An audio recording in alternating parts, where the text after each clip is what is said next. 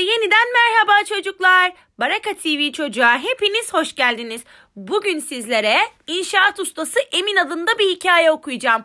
Umarım beğenirsiniz. Hadi hep birlikte hikayemize geçelim. Sınıfımız okul gezisine gidiyor. İnşaat alanını ziyaret ediyoruz.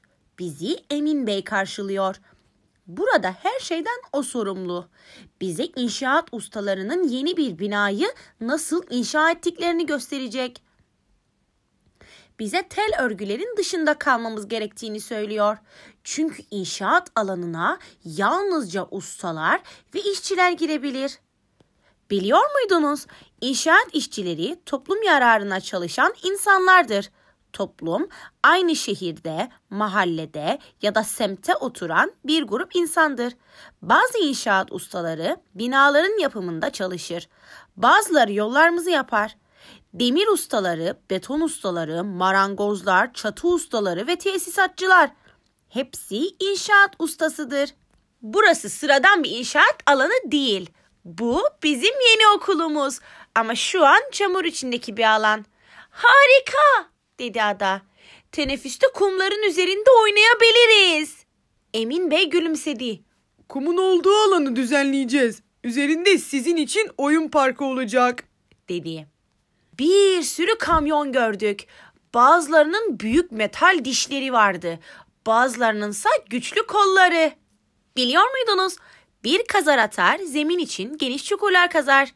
Su boruları için su yolu denilen dar çukurlar kazar. Ayrıca yollar yapmak için toprak taşır. Tüm işleri kamyonlar yapmaz. İnsanlar bu araçların içinde direksiyonun başındadır. Ağır yükleri yönlendirirler. Emin Bey eskiden marangozdu. Ahşabın kullanıldığı inşaatlarda çalışırdı. Daha sonra baş marangoz oldu. Şimdi de tüm işçilerin şefi.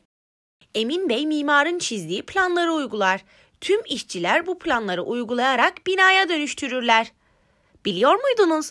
İnşaat işçileri dersler alırlar ve işlerini nasıl yapacaklarını öğrenirler. İşe çırak olarak başlarlar. Bu da işi diğer çalışanlardan öğrendikleri anlamına gelir. Emin Bey'in bir numaralı işi insanların güvenliğini sağlamaktır. İşçilerin başlarını korumak için baret taktıklarından emin olur. Turuncu ikaz yeleği giyerler. Böylece işçiler birbirlerini daha kolay fark ederler. Bip Bip bip bip bip. Arkası kalkarken beton mikseri kamyonu kornasını çalar. Korna herkesin güvenliği içindir. İşçiler bu sesi duyduklarından kamyonun yolundan çekilmeleri gerektiğini bilirler. Islak beton uzun bir borudan yere doğru akar. Bu okulumuzun zemini olacak. Biliyor muydunuz? Sürücüler betonu inşaat alanına hızlıca götürmeliler. Beton yaklaşık 90 dakikadan sonra kurumaya başlar. Ardından da sertleşir.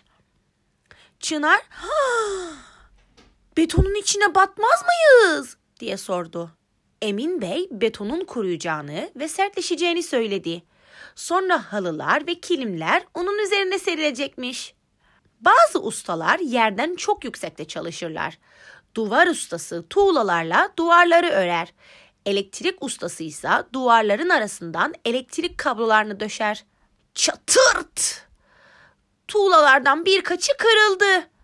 Kırık tuğlalar geri dönüştürülecek. Metal, ahşap, karton ve beton artıkları da öyle. Okulumuz yeşil bir okuldur, dedi Emin Bey.